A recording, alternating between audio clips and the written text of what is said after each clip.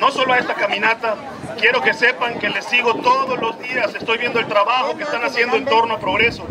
Y a mí me llena de orgullo ver cómo hoy el equipo en torno al proyecto que está encabezando Eric es un equipo sólido. Pero no se confíen, necesitamos que cada día seamos más y mejores, porque eso es lo que necesitamos los ciudadanos todos los días, más y mejores servidores públicos, más y mejores ciudadanos para tener mejores ciudades. Les mando un fuerte abrazo y nos estamos viendo pronto en la próxima caminata.